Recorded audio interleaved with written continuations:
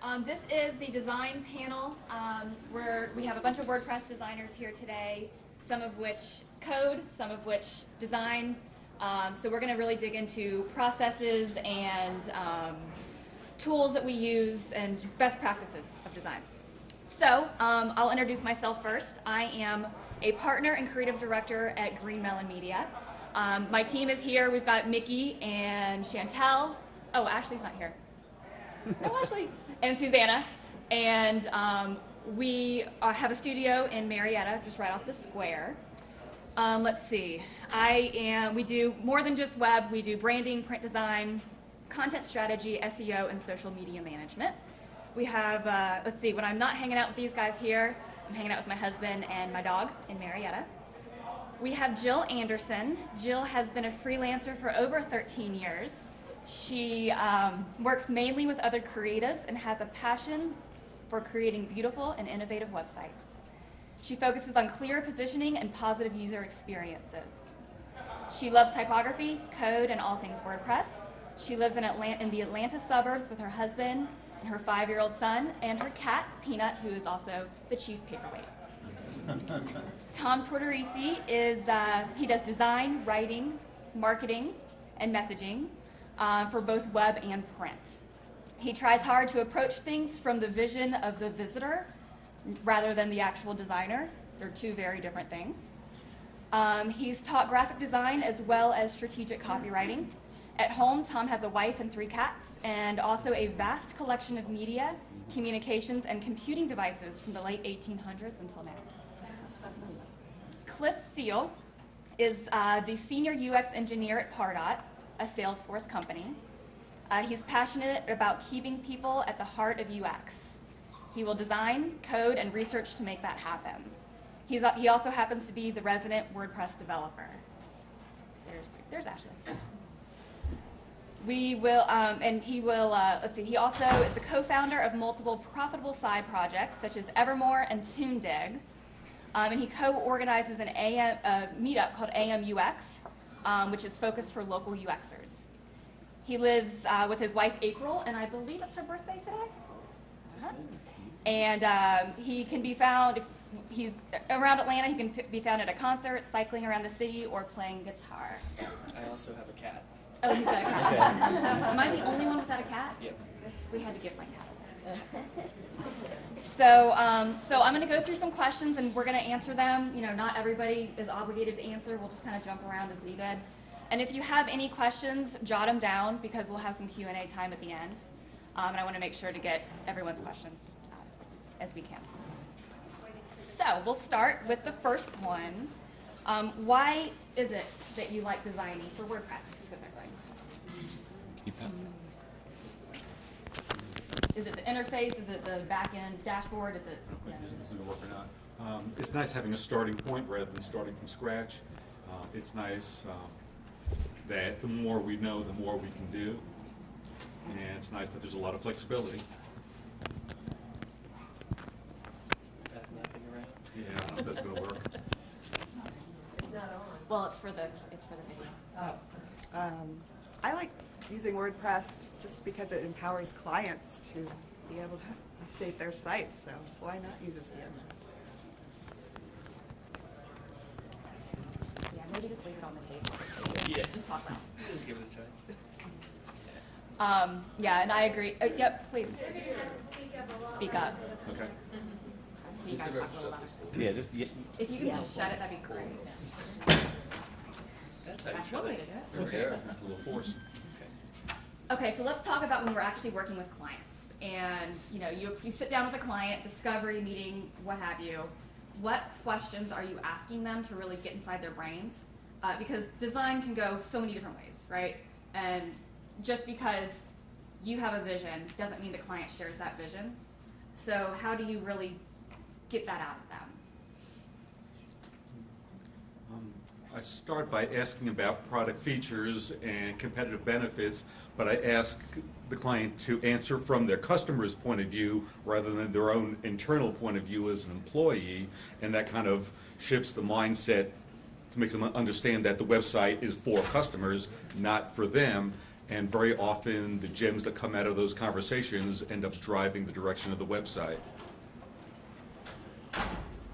I like to ask about goals and budget ahead of time so that we can map it to what do you want to accomplish because I really like hearing how people can actually set out business goals and try to map things together. Um, surprisingly, a lot of times you'll ask people to come up with, give me one or two actual business goals for whatever you're trying to design, and they struggle to come up with an actual goal, uh, which means that there's no success criteria, which means it really doesn't matter if you do a good job at all, which is tough. Um, whereas with like most people, if you can ask them a few times, be pestering on that question, you can eventually get them to map it to a specific goal. And I feel like that really then Mhm. you get to focus on the visitor and you can channel it into something that helps. Yeah, I agree with Tom and Cliff, of course. I also like to ask, what's the number one uh, action you want your viewer to take? Uh, You can definitely keep that in mind with the design. And that leads to a, a question about, a lot of this comes into play with messaging as well.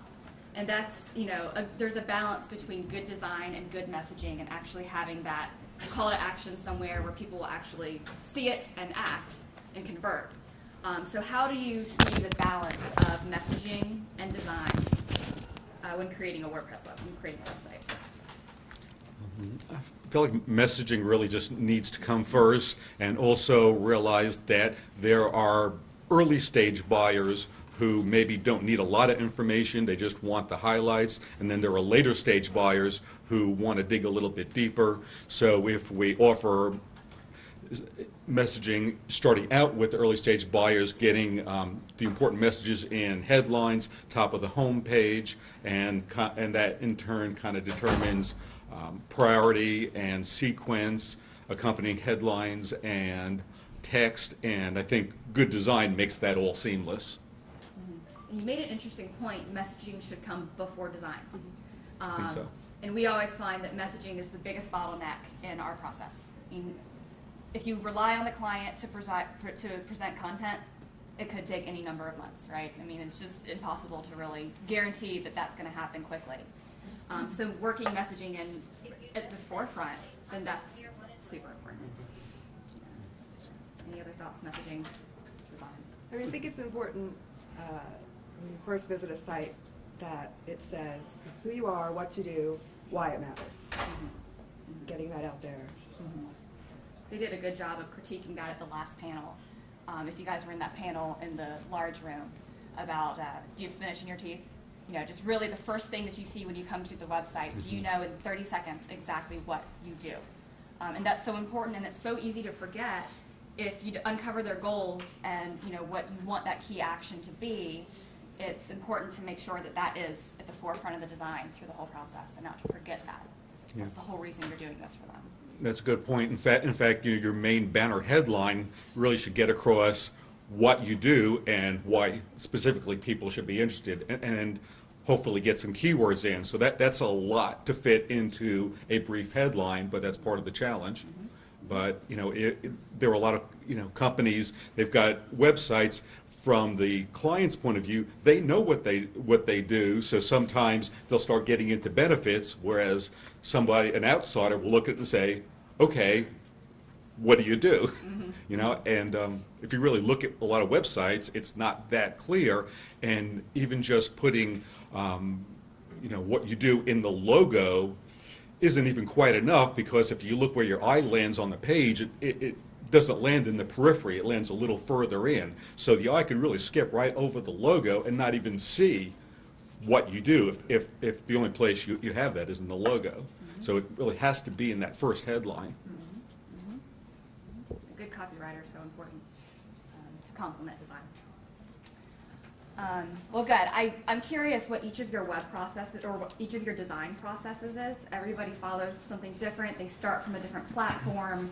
Um, you know, what exactly do you do from the beginning of the design, I mean, and, and into development as well, if that's, you know, you go there.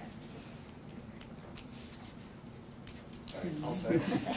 Uh, I do a lot less of that whole process nowadays, uh, but especially when I did and when I've run larger projects, um, I like starting with those let's write down business goals and let's have them so that we can always come back to them and everyone agrees to them and they're written down and they're there and they're final. And if anybody needs to change it, let's come back and make sure everybody still agrees on it before we go forward. Um, and kind of work out from there and get um, messaging is a big part of it. Um, but I like to say, like, we talked about knowing what the site is about very quickly. Um, so, a couple of nerd stats. So, in a tenth of a second, the human brain judges what it's looking at, uh, and we've seen that in web studies. And so, people are immediately kind of making a snap judgment about whether something is worthwhile purely based on what they're taking in visually before they even start to like consume that information.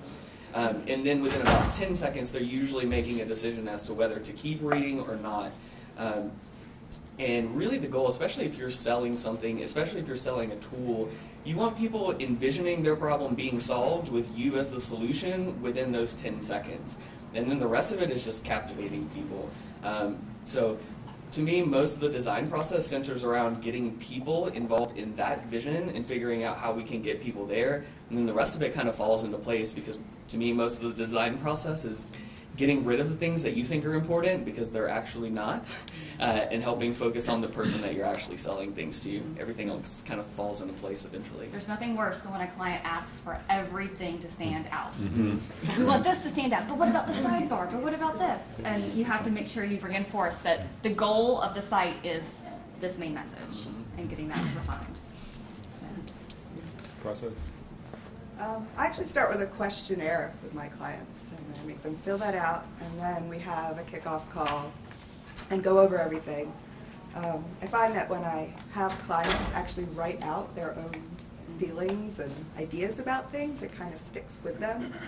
Um, yeah, kind of that idea that once you state it, you know, they're going to want to follow that. And they Um, think a lot more when they're writing rather than just spitting out ideas. Yeah. It's good to collect those, but when you have them in writing, it's so much more concrete to them. Yeah, and I like the part of, you know, them filling out this questionnaire beforehand and then us talking about it. Uh, I get a lot from that, actually talking to the client about what it is they want to achieve. That's where I start. Um, I'll approach that question in a- in a different way, say after the um, discovery and initial selling points are determined.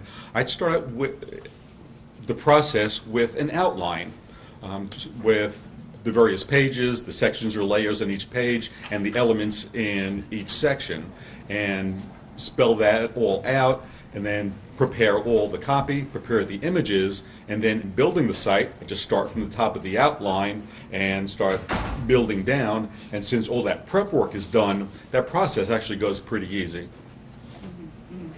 I'm, I'm with you. We do, we do something similar. We always start um, prior, you know, following discovery and, and our questionnaire that we do as well.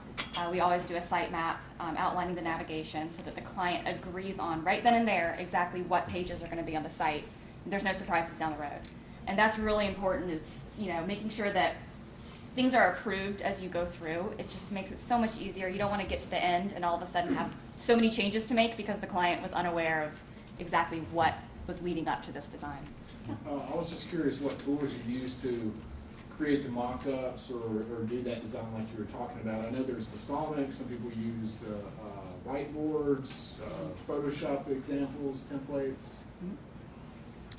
I, I actually use Illustrator for my mock-ups, because I come from a print background. and I find that program easier to use than Photoshop.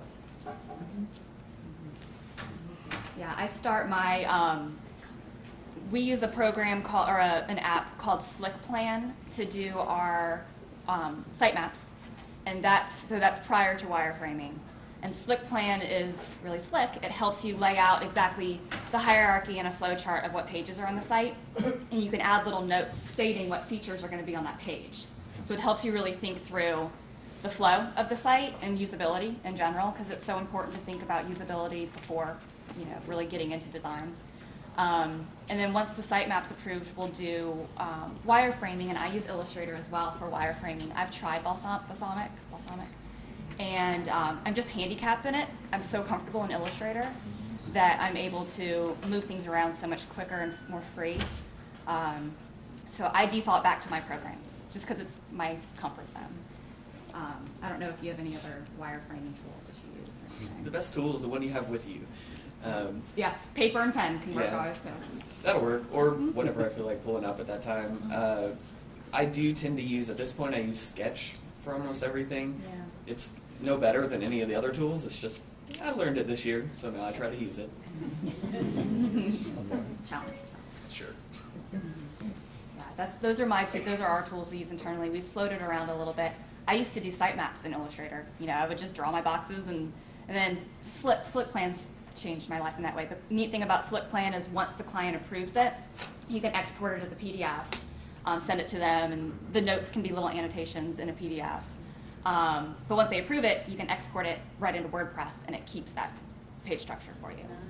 So that's a really nice, nice feature. And from there, um, So it'll actually create the pages based on? yes. with the notes. It's a great tool. The notes that are in the Slickplan um, that you put in there with features, those actually become the body copy on those pages, which um, you'll have to go in and obviously flush out into the more thought out, you know, copy and features. Um, But it's a really good starting point and helps you get all of your thoughts in one What's the place. pricing on that? It's, I, we do pay for it. Um, There's a free version Free version of up to like five. Yeah. Six, starting at six, six dollars and ninety-nine cents a a month. month. Yeah, and you've got a limit on the number of websites. days. Slickplan.com. Slickline.com. Thirty bucks a month. They do not pay me. I'd like to thank our sponsor, Slickplan, for our design panel Look today. at their website, analyze their website. totally transparent. Thirty, Analyze their website, see exactly what, uh, ten seconds, I got all that. you know? Good, yeah, there you go, everything's up front. They do say that if you're selling services, the first thing that somebody will look at is pricing, so keep that in mind as well. Uh, I mean, if you have a service-oriented web, or product-oriented website, pricing's gonna be the first thing they click on. If it's service-oriented, they'll probably go to your about page first. So just key things to make sure are in your site map as you're going through it. And that's what you think about when you site map, you know, exactly what pages need to be involved uh, in order to accomplish the goal that you defined.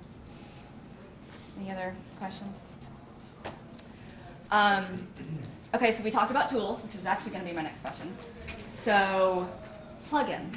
Any plugins that make your design life easier, or there's, it's a loaded question because there's so many options. But I don't know. Design. Is there anything that you use to help you in that, Actual design, design rather than functionality. or functionality, UX, you know, whatever. You know, I mean, back, you know, BackupBuddy for, um, backups, um, search and replace can come in real handy. Mhm. S- Simple 301 redirects can come in handy. Um, I have a couple of kind of boilerplate themes that I can start with that include major frameworks like Bootstrap and things like that. So even if I'm not building out a whole site or application in Bootstrap, to me it's very helpful just as kind of a nerd. It's easy for me to code my way to a design most of the time. Um, so Yeah. I end up kind of building it that way. So with, uh, with front end frameworks, I can easily kind of build out layouts and get a pretty high fidelity idea of how things will work and build out kind of a mock that way. Um, and so that's, yeah, that's kind of the way I can step into design and do it a little bit different. But I have a much less refined process than professionals. But a lot of people do that. They're designing in the browser now, and you know, some. I mean, I, I fear for Photoshop in the design world. I mean, it's always going to be there for photography. Um, but so many people just design in the browser. Um, you know, there's the whole mobile first uh, approach as well, where you think about how it's going to be viewed on a mobile device before it gets to a full desktop desktop screen. We're seeing that 50% plus of the visitors on some of our sites are mobile users now. Yeah, so it's so important to be mobile responsive and to think about how, how things are going to bend and flex on a mobile device. Um, But for plugins, yeah, I know there's, and you're gonna have to help me, Mickey. Um, there's one when we're designing a site, you can put a coming soon. Oh, yeah, there, yeah, ultimate coming soon page and others, yeah. Yeah, the ultimate. If it's a, if it's a new site, yeah. Yeah, if it's a brand new site starting from scratch, we'll do a nice ultimate coming soon, uh, where if you're logged in, you see the site. If you're not logged in, like everybody else in the world, you're it's a coming soon page, which is an easy flip. I'm also using that as a maintenance right now. If we Okay. were gonna take down the current site for a day, there's also a maintenance Mode. option you can do on that. Good, yeah, good thought. Uh, One plugin that I've used too that helps the users is uh, custom help boxes. Okay. And you can put those into the admin so that the user sees them. You can even embed YouTube videos of how to use the features of WordPress and stuff, so that's been really helpful. I've seen some things like that. A lot of questions. Custom help box, I believe, is that right? Uh, if you do a search on that, it should come up. I can't, the title of the actual plugin that I use is a little bit longer than that. I can't recall it right offhand. Okay. Ali, question, um, so on that note, I'm, I'm curious if any of the folks on the panel have done any, like, test-driven UX development? Mhm, Some A/B Um, testing And if there's any particular things that they use to kind of test whether or not certain things that they're putting out are in fact. you Performing. know, Working the way that they expect. Yeah, we just did a deep dive into A/B testing um, plugins, and I'm not going to be able to recall any Yeah, of the ones we haven't looked pulled at. There are A/B testing plugins out there that allow you to change. It's it's more you know the color of the button, and you know different different users will see one will see a red button, one will see a one that blends nicely with the site, you know, and see exactly how users are reacting um, and which ones they click on, and then obviously go towards the one that has a better performance. It's it's really fairly simple. Crazy egg. Yeah, yeah. There's also heat mapping. Um, I don't know if you're familiar with what a heat map looks like. Uh, it's, it, it, is it a plugin, Crazy Egg? Yeah, yeah. Okay, yeah. Crazy Egg, Crazy Egg is what we've used, and it's a plugin that allows you to track where the user's clicking uh, most frequently, and it uses a heat overlay um, to show the red areas are obviously where the clicks the most. That's how we're, other than analytics, it's another good way of seeing exactly how somebody navigates the site, what they click on. Crazy Egg? Crazy Egg. Crazy Egg. Uh, So that's a good one as well. There's another one called Mouseflow that's ridiculously full featured. Okay. Like it, it'll take videos of people on a site and different things. It's kind of crazy. Take videos of the people. Right.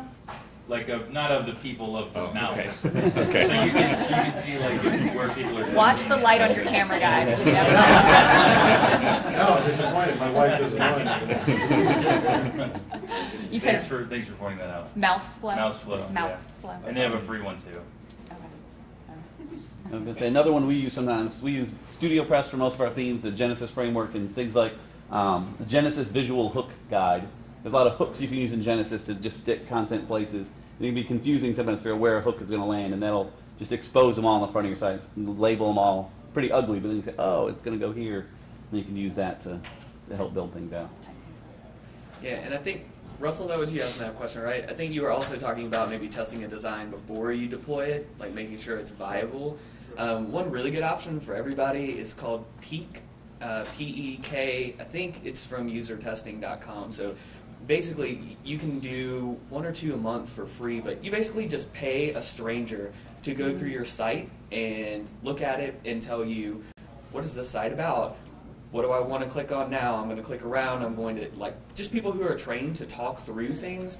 It's extraordinarily helpful either for an existing site or for one where you're trying to figure out if the design is actually accomplishing what you're trying to do. Um, like I had them look through one of my sites, and what I was hoping to hear was that they would look at it and know what was going on. And instead, they were kind of like, eh, I don't really, I don't care. So I'm going to click around, and I don't really know what's going on. Uh, and it was very helpful feedback, right? And you can get it from multiple people, so you can kind of get the concept of what it's like to have somebody coming there who has no motivation to tell you what you want to hear, uh, but instead gives you really honest feedback. It's a really helpful way to kind of point out some issues that you might have. What was this called? Peek, P P-E-K. E K Mhm. dot usertesting dot com. There you go. And Even at like usertesting.com, you can just go and like, upload a, a, um, like a JPEG, like a screenshot of your homepage, and you can just ask people, like, it's for free. You can just do some tests, you get a free one, you just ask people like, what is this site about? Yep. And see if they can figure it out quickly. Mhm. It's, it's really useful for making sure your main message is coming across quickly and Yeah. you're speaking to. I like that. We've not done that. Any other? Yeah, Russell. Yeah, I have a, like, I have kind of a different question specifically for Cliff. Um, so like I'm noticing this kind of change from home pages with sliders on them and all this craziness above the fold to kind of what you see up in front of you, which Cliff, by the way, did a bang-up job with the WordCamp Atlanta site. Thanks. Just kind of more like, what is this Get a kind of room. more marquee image, kind of above the fold, and like kind of a more still homepage, and you see this kind of trend where there's like a button in the middle and this big image. Can you just talk about that kind of specific kind of trend in web developments and kind of where we're going with that and, and why maybe? Yeah, so uh, I think in general, the move from, you know, because sliders have now been replaced with ridiculously huge images all over your homepage, so it's a new fad in a different day.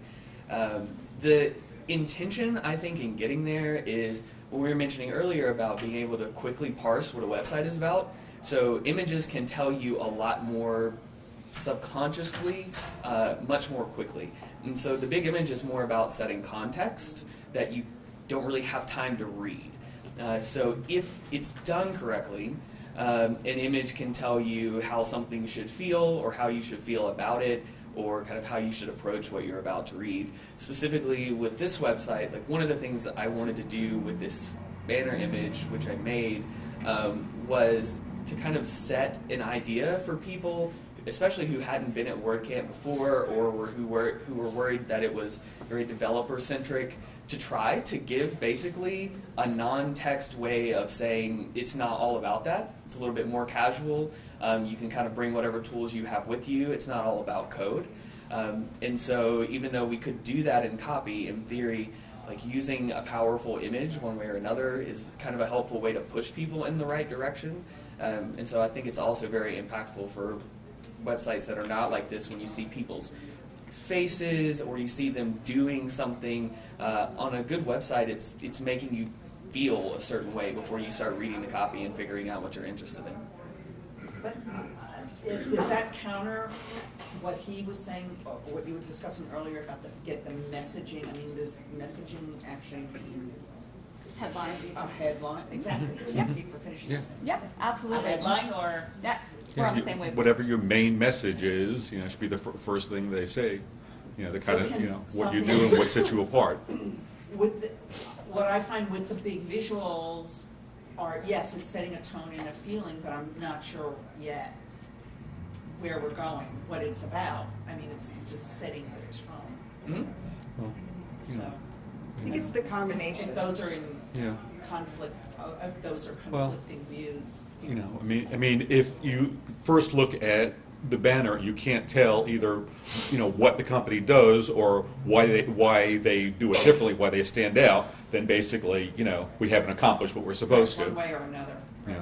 You're just combining the two, like a nice large image with mm-hmm. text on top of it. Right. Right. Yeah, I don't think those are in conflict at all. It's just one's one's a subtle way to get to your messaging a little bit more quickly, hopefully. But like if you do either one of those wrong, you've kind of messed up the messaging totally. um, which is why stock imagery and things like that is difficult because if you've got if you've got great messaging and then like four business guys high fiving, like Oh, you know, right? It's such a weird tone. Um, and so yeah, I, I don't think they're in conflict at all. They go together. Okay. One thing um, Cliff had, had mentioned um, big big banner images, and yeah, I mean they're great, they're impactful. But something I mentioned yesterday that I'd really still like to see a little bit of the content underneath peeking out, and it's kind of a visual cue to keep scrolling.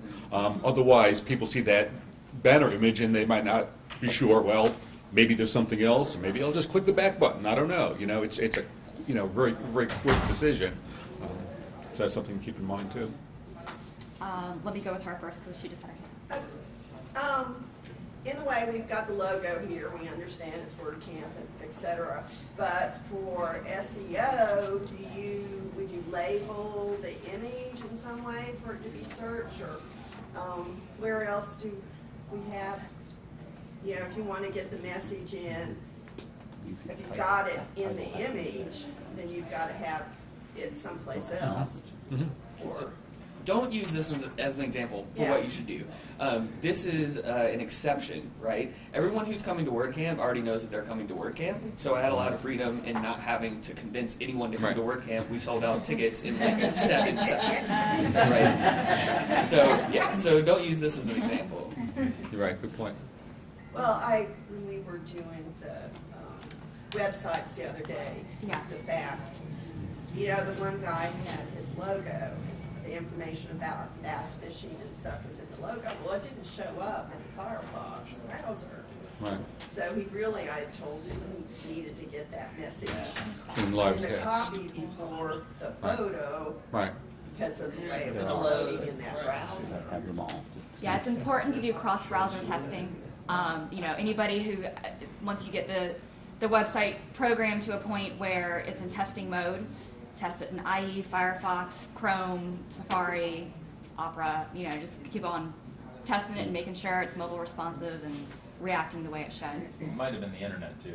Yeah, it might have been. the Yeah. As far as SEO attached to images, whenever you load in an image into the media gallery, you can also uh, put the title there. Yeah, you can see the titles the actually popping up in the description and everything, and that stuff is picked up by the SEO as well. Okay, Let me go with him real quick, just because you Just, um, we deal with a lot of seniors and people who are not very internet savvy and the design going towards large, clear buttons, and very simplistic layouts, is that, one, is that here to stay? And two, are there best practices and guidelines according to like, eight, you know, American Disabilities Act and people who have vision trouble to, to access websites? Are, are there, is there any sort of information out there? Is there are people thinking about that, um, knowing that seniors and boomers are such a large? It's a real good question, but it might be a little bit too specific for, you know, what we're talking Did you go, about today. did you go unless to anybody has the some- session about accessibility? Okay, you missed it. It was a good talk. I mean, certainly tooltips, because a blind person, the website can be read to them.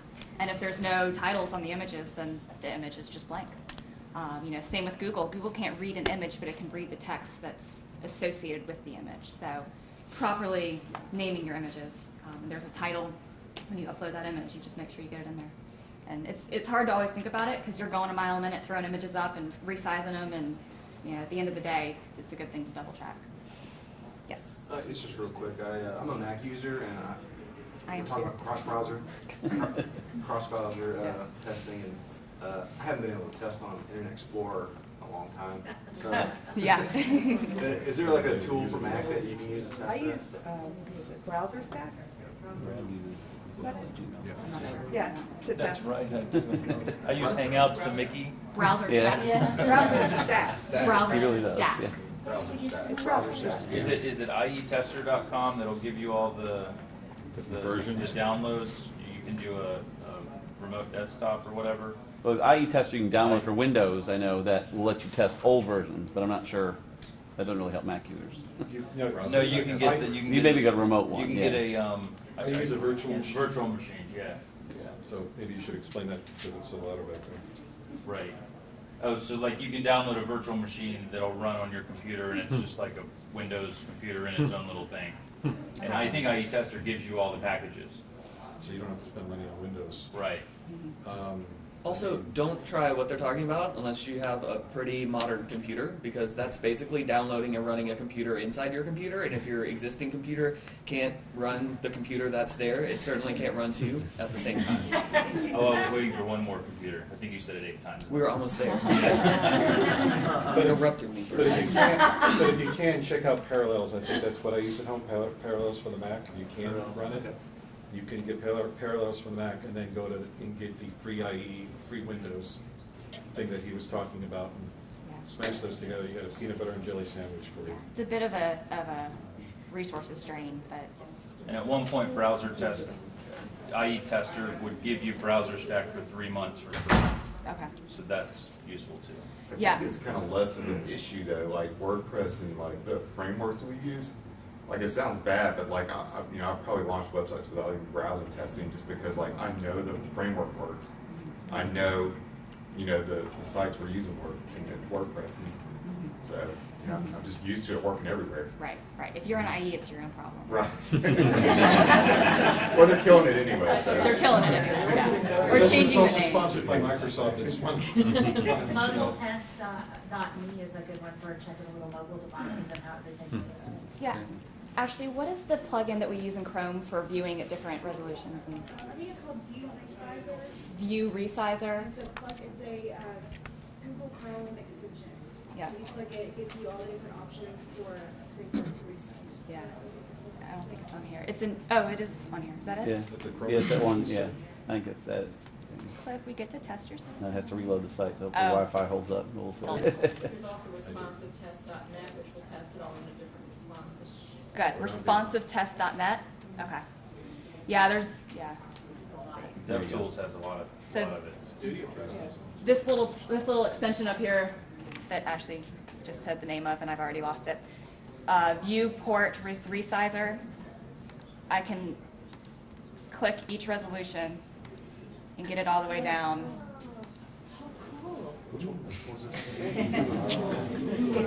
And that is mobile All response. right, now, now we're in this, man.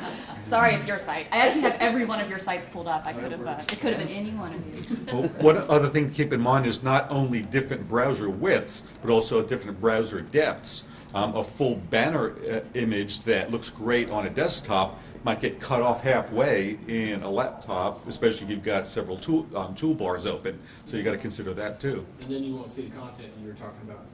You might not see even the entire banner. Or like the problem we had with this site where we added too many menu items on accident and the expanded menu overflowed the height of a normal mobile browser and then disabled you from being able to do anything else. So yeah, that's a, that's a good thing to mean test for. the top in black? Yeah, like when you when it was in mobile and Switch you to expand the mobile. menu and it dropped down. Oh, oh, oh. So there were like 47 things in there one time, and uh, it was impossible to get to any of them because you couldn't scroll. Right. It was, yeah, it was like- There's tons of pop-ups that do that so wrong, and you're just like, okay, closing the browser, and can't do anything. Yeah, let me get Jason. Jason, yeah. Hi. Um, Two-part question, because I just thought of another question. Uh, Are you seeing any kind of trends for navigation, such as sticky headers, and, or any other kind of navigation trends that you might see, um, you know, for both mobile and for desktop? And then, we just touched on it, the below the fold myth, is that a myth?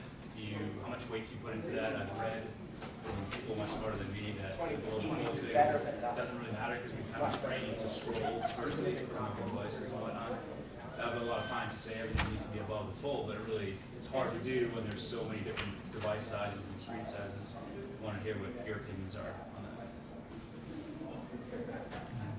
that. People do scroll, but I, I think probably the most important factor there is to have such a killer headline initial ba- banner image is that you make them want to look more. Um, and I mean, yes, you know, people you know will scroll if you if you engage them, and if your banner doesn't take up your full depth. Yeah, I think my response would be, people are naturally scrolling so much more now because of mobile devices, and they're just used to that motion. Um, so they're getting trained to scroll. Um, so it's becoming less of an issue um, with the above the fold. It's about training our clients that Yeah. that's no longer quite as The valid. fold is dead, right? Hmm? The fold is dead. Like, where is the fold? You can't. Right. You Right. cannot Yeah, we have determine what that's gonna be like Green Mountain. With Oh. all the devices out there. Right. But having said that, still items above the fold have more visibility. I mean, they just do. There, it's still, it's still a consideration. Um, but the Green Melon site alone, our, our website alone has over a thousand different resolutions, um, that view our site. Last year, yeah. Yeah, and so it's, it's difficult to actually define where that line is anymore. But of course, the top, you know, the header area is going to get the most eye traffic. Right, and, and I even think that at this point, we're probably more used to scrolling than doing a lot of clicking, which brings up another issue that I've thought about um, lately is um, we set up all our um, navigation menu items, drop-down um, menu items, all nice and neat, but when you go to a site, how many of those do you really click? You know, so I'm, I'm thinking that well, one thing, well, actually, one um, statistic I read that um, number of pages per visit is like 1.3 or 2.5, whi- which is terrible. Um, so I'm thinking that you really need to include uh, um, promotion for the, your important pages right on your homepage. As people scroll, have a teaser, maybe a headline, a visual to point out your most important pages because we really can't depend on people going through our top navigation. We've got to promote those more important pages not only to get more page views and draw the visitor in, but for the sake of analytics to get more uh, page views per visit. And you know how I approach that? Because I think about that during wireframing. Um, kind of see it as a puzzle. And I, I look at the sitemap, which has already been approved, and I think about what the most important messaging pieces are, and I lay them out, uh, whether I whiteboard it or I just write it in my sketchbook. And those become my puzzle pieces. And it's all about getting them to assemble in a way where there's a hierarchy of importance. Um, from header, you know, throughout the copy. And that's the, um, you know, that's, I then present several different wireframe options, two, three, uh, with the puzzle arranged in a different way. And that's where you can maybe do some of that user testing as well, you know, like where are we, are we really taking in what the site's about at that point? Um, yes. So, since we're talking about menus and navigation, I'm curious if you guys have any tips, partially from design, partially from coding perspective, for setting up menus so that they're expandable by the client. Because we'll run into that a lot where the menu, you know, looks perfect with X number of menu items, mm-hmm. but then when they want to go add two or three more, it kind of breaks the design and the flow of the site. I did not have an answer to that. How about pages? Are we going to turn off the menu feature now as well on the back end? I mean, I- okay, well, one, one, one solution is have two different layers of, um, of uh, nav menus, and one could be products, and others could be, you know, website features. I've got Can be a custom in the that. sidebar too. Um, One of the things that we've been using is the mega menus where you hover over one and then you've got tons of space and you can also create different columns. One of the sites that I did recently had six different columns that you can put the links, product links in, so you've got tons of space Yeah. there. I think Now, an example of keep in mind that if they only use the first two column, then there's gonna be a, a lot of more white space there, but, I mean, it's something that And- you kinda gotta nail down in the sitemap. Exactly. How many links I think it's have? also about educating the client that they don't need that many choices, you know, like, I like to tell my clients, like, please no more than seven items. And Right. even seven is a lot. Right. Uh, That's why we sitemap first. Yeah. Well, which also brings up in mobile, the little hamburger icon, which is a solution for designers and developers, but it's a terrible idea for users because it basically buries your con, your, your content. I don't know what the solution is, I'm just, you know, griping about also it. horrible for vegetarians. Yeah, and, and they're, they, what they're saying is having the word menu rather than the hamburger icon is uh, usably better because it's pretty clear what that is. Didn't they test that though and say it didn't matter? Last No. I I read guess I saw it one did blog post matter. Yeah. Uh, Think about it this way. I've never seen a test in which the word menu didn't perform as well or better than the hamburger icon. So you'll see now, like a lot of new sites that are being designed and published are moving away from it. They're adding the word menu to an icon. Um, they're replacing it. They're changing the icon to make a little bit more sense. Like people are moving away from that icon in general. It's a helpful thing, but Facebook app is, no, no, they've moved away from that, it's now wording, it's putting words next to Yeah, it. and they're the people who started it too. Facebook started that fad, and then they stopped doing it. What, the hamburger? Yeah. Brad had a It question. wasn't McDonald's. What do you think the biggest UX problem we have to deal with today is? Too much content. There's a balance It's a light problem. between, and this is off the top of my head, but there's a balance between SEO copy and, and having a copy heavy site that has keywords in there, you know, 350 words per page plus to get Google to understand what that page is about, and a tasteful, light, white spaced design. So finding that balance is, is tricky, and I think it's a challenge with, you know, as copywriters come in wanting to really stuff those keywords in there to get rankings versus the designer who wants it to be clean and succinct. Of course, that uh, question in another way, um, when people come to your homepage, they have a nice homepage experience. But if the first page they land on is an internal page, you know, a, a, a plain WordPress text page is not very inviting. So my, my thinking these days is that all your major product pages or landing pages should be set up like home pages.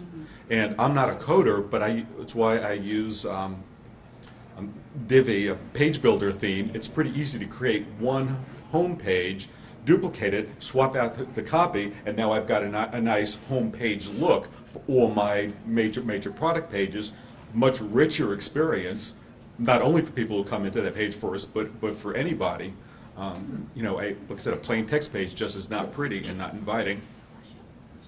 That's, yeah. Question, getting back to the mega menu, I have not used it yet, I haven't had a need, but, uh, with my clients, but how does that work on a mobile when, I mean, It, it, it consolidates into a hierarchy instead of a, A lot of the, uh. doesn't it just totally obliterate the site behind, I mean? Well, if you have a plugin like WPtouch, it'll take the main menu items and list only the main menu items.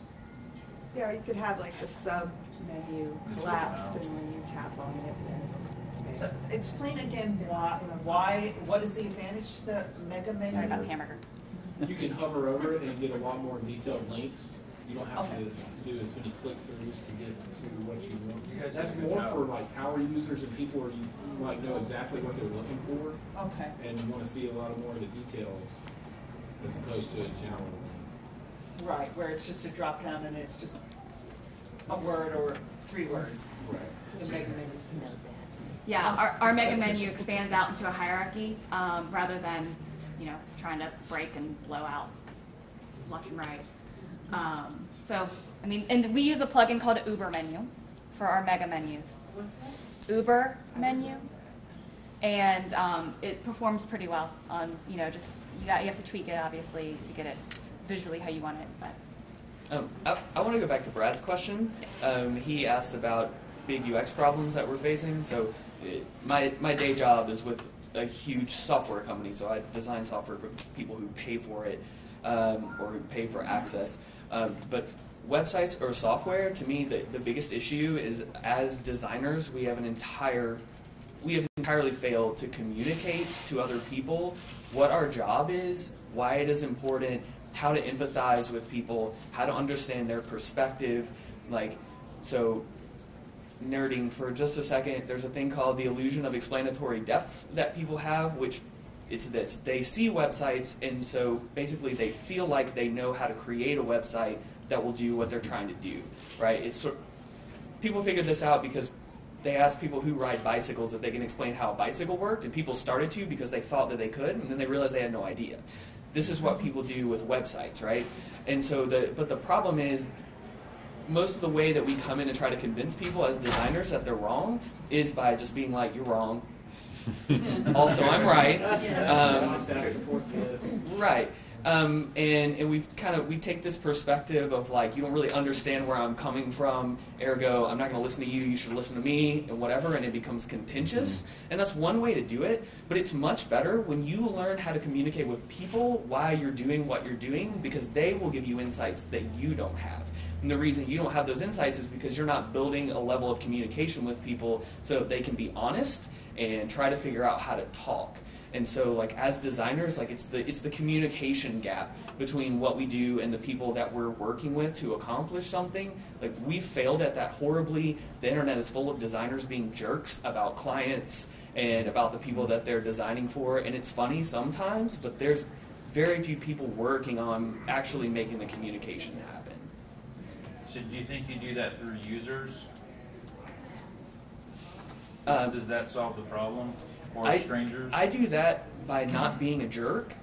Um, quite honestly, like I have to work on it. I have to not be a jerk when I say stuff, and I have to work on communicating with people and letting them be comfortable asking questions and setting a context where they feel comfortable talking about things that they don't understand. I, I think that's like the biggest component of it. It's just taking that approach when you talk. We're running out of time. There's actually a good book about that by Mike Monteiro, Designs a Job, one of the book reports. What's the book? I have comments. Cliff's gonna write. Cliff's gonna write one called Don't Be a Jerk. The second one's really about that. Design is a job. I haven't read his second one, but it's really about like, You're my favorite one. Yeah. Yeah, Yeah, that one's good too, too. but it's more, it's less from like what you do as a designer. Yeah, yeah. Well, it's about sales. What's the name of the book? We were having a hard time even It's remembering. Um, selling. Design You don't is a job. sell. Okay. Design is a job, one of the book of parts. Because otherwise, Cliff, you need to do a session about modeling, you know, like one of us can pretend to be the client, and then you tell us how we should talk to them? Oh, this Great idea. And it's about, it's, it's doing research and knowing the statistics. There's so many times where the client turns to you and says, well, what do you think? You know, and you can say, well, visually, we like this. But there can be statistics, there's data behind why it's better. So knowing that information in order to communicate it to the client gives, you know, validi- validity to the conversation.